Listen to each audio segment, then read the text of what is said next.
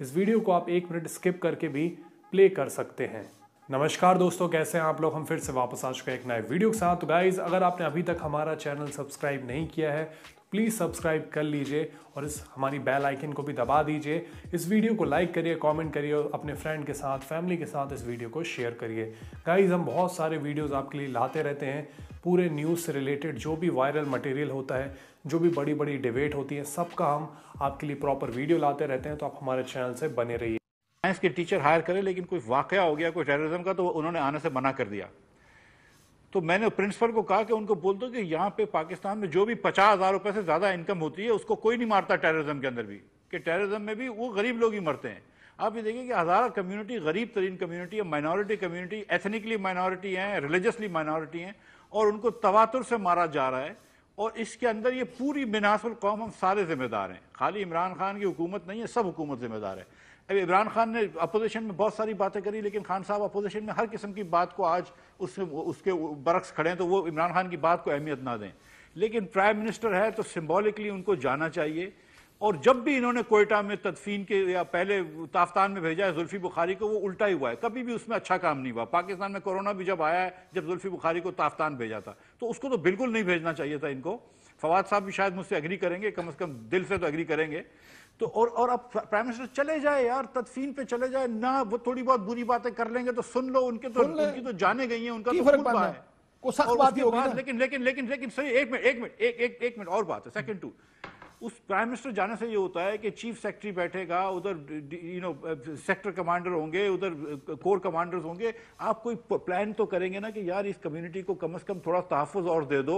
अगर वहाँ पर कुछ दो तीन चार फौजों अपने पोस्टिंग पोस्ट लगा दो नाके लगा दो रेंजर्स के या एफ़ जो भी वहाँ पर होते हैं कुछ आप, आप जब तक के इन लोगों को नहीं पकड़ सकते और आप बात करते हैं कोमिंग ऑपरेशन का लेकिन सच्ची बात है कि हम नहीं पकड़ सकते। और ये कह देना कि हर चीज़ को कि बैरून मुल्क के इमरान खान ने खुद कहा था कि मैं ये नहीं कहूँगा। देखें अगर बैरून मुल्क वालों को मारना होता ना तो वो अब्बासियों को मारते मरी के वो जेलूम के चौधरीों को मारते वो कराची के मेमनों को मारते। ये बेचारे गरीब लोगों को बार बार क्यों मार रहे हैं? थोड़ा सा हमको अपने गरीबान में अपने अपने गरीबान में भी दाके देखें ये हमारे अपने लोग कर रहे हैं तो हमको जरा सा देखना चाहिए। और ये ये मसला तस्वीर से खत्म नहीं होगा बिगिनिंग। मिफ्ता साहब ऐसे एक बात एक मैं रुक जा पता ही नहीं फिर क्या है मसला। सर एक बात याद रखें फॉल्ट लाइंस को ही फॉल्ट लाइंस होती है ना आप सिखों की फॉल्ट लाइन को ही इस्तेमाल करते हैं।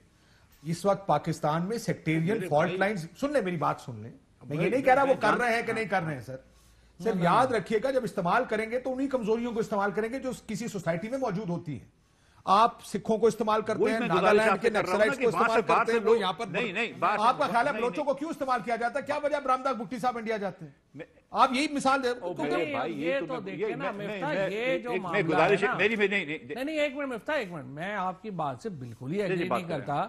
इसका पाकिस्तान के अंदरूनी जो हमारे इलाज है ना फ्रेंकली उससे तो बहुत ही कम ताल्लुक है। इसका जो सारा ताल्लुक है, इसका 80 परसेंट ताल्लुक बैरूनी हालात से है और बैरूनी हालात में अफ़गानिस्तान है और हिंदुस्तान है। हिंदुस्तान के फुटप्रिंट्स हैं वहाँ के ऊपर। हमने अभी जो डोजियर अगर आपने पढ़ा हो और अगर आपने नहीं पढ़ा तो मैं आपको भिजवाऊँगा, आप उसको ज़रूर देखिएगा। उसमें जो अजीत दोवल का और नरेंद्र मोदी का की जो बाकायदा पॉलिसी के तहत बलूचिस्तान में सब कुछ हो रहा है और उसमें हमारा, और ये बात भी दोबारा जैसे आपने पहले की, ये कोई पीटीआई की हुकूमत का एक इशू नहीं है। ये कंसिस्टेंटली पहले पाकिस्तान में मैं आपको माजी की एक सेकंड रुक जाए मेरा सवाल तो सुन ले मैं आपको एक बात और भी ये बात जो आपने कही ना मिफ्ता साहब यही बात आज कही गफूर हैदरी साहब ने भी। और मैं आपको पुराने वाकयात जो पाकिस्तान में आपके दौरे हुकूमत में हुए ना मैं आपके प्राइम मिनिस्टर के बयान भी दिखा देता हूँ। हर के ऊपर हिंदुस्तान हाँ। के का कहा गया कि ये बैरूनी साजिश है। या तो ये आप आप क्या सोच रहे हैं। नहीं पहले सुन ले गफूर हैदरी साहब बयान भी नहीं है? भाई आप नहीं मेरी नहीं। अब अब काशिफ मेरी इतनी सी बात मैं आपकी बात बात को इंडोर्स करवा रहा हूँ जो आपने बात कही है वो गफूर हैदरी साहब ने किया पहले सुन ले उसके बाद फिर आप जवाब दीजिएगा इंडिया का हजारे बिरादरी से क्या दुश्मनी? अगर कातिल ज़ाहिर न हो तो फिर इस कत्ल में इस साजिश में रियासत मुलवस है। प्राइम मिनिस्टर को यहाँ पहले रोज आना चाहिए लेकिन अब तक नहीं पहुँचे। जी आ, ये अब आपने गफूर हैदी साहब को भी सुना। अब बताइए सर। नहीं नहीं, नहीं, नहीं देखिए गुजारिश ये है कि हिंदुस्तान को पाकिस्तान से दुश्मनी है किसी एक, एक पर्टिकुलर ग्रुप से दुश्मनी नहीं है। तो अगर वो हजारा को मार हम्म। सकेगा तो हजारा को मार सकेगा किसी और को मरवा सकेगा तो वो तो मरवा सकेगा। I understand the point is the सुन तो द पॉइंट इज़ कि ये सिर्फ़ कुलभूषण यादव आके तो नहीं करा रहा ना यहाँ पे पाकिस्तानी लोग हैं वो कर रहे हैं। ये इमरान खान की रियासत की हमारी सबकी ज़िम्मेदारी है कि इसको रोका जाए। ये कहना बिल्कुल काफ़ी नहीं है और ये कहना का कि हिंदुस्तान करवा रहा है अफ़गानिस्तान करा रहा है। भाई ज़िम्मेदारी तो आपकी है ना। जो इस वक्त हुकूमत वक्त है उसकी ज़िम्मेदारी है। उससे कोई फ़र्क नहीं पड़ता नंबर एक। और नंबर दो ये हमारे पाकिस्तानी लोग हैं जो कर रहे हैं वो और बात है कि उसको इंडिया इंडिया ने इंस्पायर किया हो या अफ़गानिस्तान ने इंस्पायर किया हो लेकिन हमारे पाकिस्तान तो हमारी है हमको ये ढूंढना चाहिए। गन हमारी है बेशक अगर आइडिया किसी और का गन हमारी है। नहीं देखो ना बात यह है कि और ये तो... ये यहाँ पे ये कहना ये कहना कि यहाँ पे शिया सुन्नी मसला नहीं है।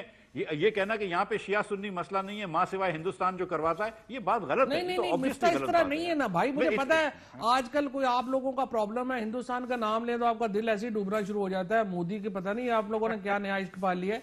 इशू ये है ही नहीं। नहीं नहीं नहीं मेरे तो मेरे तो मासी का बेटा है मोदी। ब्रेकिंग न्यूज़ आ गई है वो उनकी मासी का बेटा है हाँ, वही ना ऐसे ए आर वाई चलाएगा अच्छा, अगले अगले दो दिन ये ब्रेकिंग चलेगी कि नरेंद्र मोदी मिफ्ता इस्माइल के मासी का बेटा है जी। और ये नहीं। अपनी तरफ़ से करेंगे ये आपने खुद अभी एडमिट किया है। नहीं नहीं बात सारा दिन ये सारा दिन आप लोग ये सारा दिन आप लोग अपने आप को जड्डे में ना लिपेटो नहीं, नहीं बात ये नहीं झंडे में लिपेटने की बात नहीं है। मतलब आपने खुद ही ऐसी जो है वो बात कर रहे हैं। देखिए ये फॉल्ट लाइन जिस तरह ये काशिफ बिल्कुल सही बात कर रहा था फॉल्ट लाइंस होती हैं हर मुल्क में। आज क्या हिंदुस्तान के अंदर फॉल्ट लाइंस नहीं है? क्या ये दूसरे मुल्कों को पासपोर्ट दे देता है कि आप करें जाके वहाँ पे? तो दोस्तों ये वीडियो होता है यहाँ बांग्लादेश ने बनाई से छोड़कर जा प्रॉब्लम हमारा हमने सिखों को सपोर्ट किया यार इतना हम फॉल्ट लाइन का इस्तेमाल किया में लाइट ट्रेन के हमारा मीडिया तो बात ही नहीं करता पाकिस्तान के राजदूत के तौर पर काफ़ी साल काम किया है और ये पाकिस्तान की सरकार भी काफ़ी कैसे मुँह उठा के बैठ गए वहाँ पे हमारी जगह प्रॉब्लम ये है कि ये जो हिंदुस्तान का किरदार है बलूचिस्तान के अंदर और पाकिस्तान के अंदर जब तक हम इसको एक it's a national crisis. And whole आज भी मैं देख रहा हूँ मरियम बीबी और बिलावल जो वहाँ पे गए जो बहुत अच्छा किया आई थिंक उन्होंने वहाँ पे गए। लेकिन उन्होंने नाम तक नहीं लिया जो असल जिम्मेदार है। इंडिया के ऊपर बात तक नहीं की है। वहाँ पे जब लेकिन लेकिन, लेकिन आपको ये नज़र आ रहा है कि अब जो मिफ्ता साहब भी यही कह रहे हैं जेयूआई भी यही कह रही है प्रॉब्ली ये पॉलिटिकल एक जो पीडीएम का नेरेटिव है वो यही है हिंदुस्तान का नाम ना लें फिर ज़िम्मेदारी आपकी क्यों ना मतलब मैं मैं ये वैसे मिफ्ता से समझना भी चाहूँगा नहीं नहीं ये कोई से मैं समझना भी चाहूँगा कि ये आप लोगों का ये क्या मतलब प्रॉब्लम हुआ हुआ है।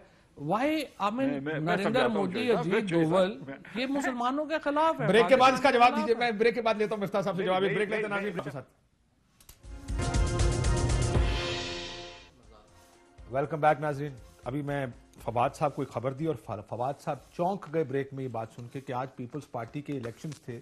और बिलावल भुट्टो बिल्टो बिला मुकाबला चेयरमैन पीपल्स पार्टी मुंतखब हो गए हैं। और कहा है आज इलेक्शन भी हुआ ये रिएक्शन था आपका मैं कोई एग्जैजरेट तो नहीं कर रहा। इसको जरा मैं मिफ्ता साहब कुछ कहना चाह रहे हैं मैं वो कर लूँ उसके बाद जरा ये पाकिस्तान की डेमोक्रेसी विद इन जो डेमोक्रेसी की जो हाँ। बुनियाद इसके ऊपर थोड़ी सी बात कर लेंगे। मिफ्ता साहब ये वो इमरान खान साहब ने जो आपने पट्टी सुनाई थी हाँ, हाँ। इमरान खान साहब ने कहा था कि अगर हमारी हुकूमत आएगी तो हम बैरून मुल्क लोगों, अनासर को ब्लेम नहीं करें। तो गाइज़ ये वीडियो होता है यहाँ पर ख़त्म। आप यहाँ से ये वीडियो छोड़कर जा सकते हैं। जी हाँ दोस्तों, मैं जानता हूँ ये वीडियो ऑडियो फॉर्म में था, जिसके कारण आप डेफिनेटली थोड़े से डिसपॉइंटमेंट हुए होंगे मतलब नाराज़ हुए होंगे, उसकी वजह मैं जानता हूँ। तो दोस्तों, आपको बता दूँ कि ये वीडियो में आपने देखा किस तरीके से पाकिस्तान में जो हजारा किलिंग हुई थी, हजारा आप जानते होंगे, ये बेसिकली पाकिस्तान में बहुत कम तादाद में है। सिया मुस्लिम है, लेकिन ये एंथिक ये थोड़ा सा आपने इनका अगर चेहरा देखा होगा तो ये बेसिकली मंगोल से बिलोंग करते हैं। हालाँकि पाकिस्तानी अपने आप को, सारे पाकिस्तानी आपको पता है, जो कट्टर पाकिस्तानी है, वो अपने आप को समझते तो अरबी या टर्क के हैं, लेकिन हैं तो सारे यहीं के, लेकिन मानेंगे नहीं। लेकिन ये जो पाकिस्तानी हैं, जो लगभग सात आठ सौ साल से पाकिस्तान में आए हैं, आपको पता होगा। ये बेसिकली चंगेज़ खान के टाइम पर, यहाँ पर आ गए थे या रह गए थे, उस टाइम पे जब चंगेज़ खान ने अटैक किया था अफ़गानिस्तान और उसके बाद जो नॉर्थन इंडिया है मतलब बेसिकली मैं उस टाइम की इंडिया की बात कर रहा हूँ, वहाँ तक आ गए थे। तो उसी टाइम वहाँ से वो वापस चला गया था, आपको पता है। तो ये वही लोग हैं, ये रह गए। तो बेसिकली ये बड़े ख़तरनाक लोग हुआ करते थे उस टाइम पे। आपको पता है इनकी कहावतें भी मशहूर हैं कि ये जो मुंडी होती है मतलब जो कंकाल होता है इंसान का, उसकी मुंडी की मीनार बना डालते थे मतलब ऐसा कत्लेआम मचाते थे। हालाँकि अब तो ऐसा कुछ ये करते नहीं हैं, बड़े पीसफुल लोग हैं और उसके बाद पाकिस्तान में है। आपको पता है कि पाकिस्तान में है तो ये सिया मुस्लिम हैं और अब सिया सुन्नी का मसला जो है वो बहुत पुराना मसला है। जब से इस्लाम है, तब से सिया सुन्नी का मसला है। तो इस मसले को लेकर इन्हें कत्ल किया जाता है, इन्हें मारा जा रहा है। आज से नहीं, जब से पाकिस्तान बना है, उससे पहले से इन्हें कत्ल किया जा रहा है। तो बेसिकली इन्हें टारगेट किया जाता है और पाकिस्तान के लोग आसानी से ये आरोप भारत पर लगा देते हैं। आपको पता होगा, दोस्तों, ये पाकिस्तान की पुरानी आदत है।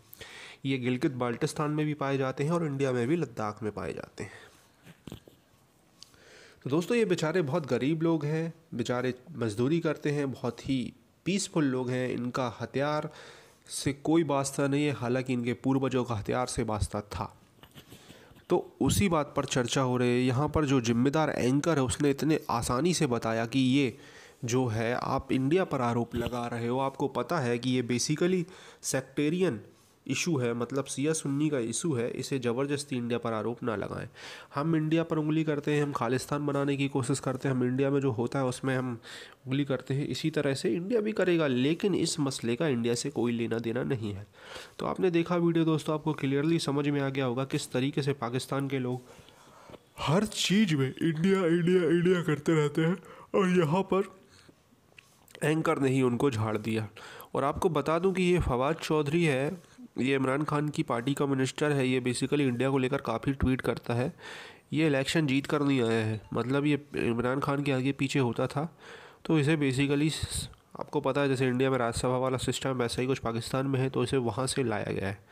तो आप समझ सकते हैं दोस्तों सिलेक्टेड बंदा है, फालतू की बातें करेगा।